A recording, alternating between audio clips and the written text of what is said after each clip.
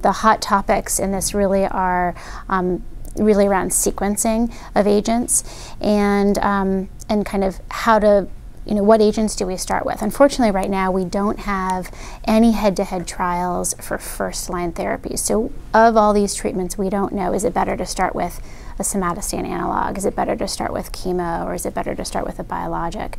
I think that right now what academic and community oncologists are left with doing is weighing both patient characteristics that include pace of disease, disease growth, um, tumor bulk, um, grade, patient preference, and then some of the drug characteristics like method of, of administration, so oral, IV, IM, sub-Q, um, thinking about side effects, are they cytostatic or cytotoxic? So we're sort of weighing those and then thinking about, you know, how do we tailor the best treatment to the patient?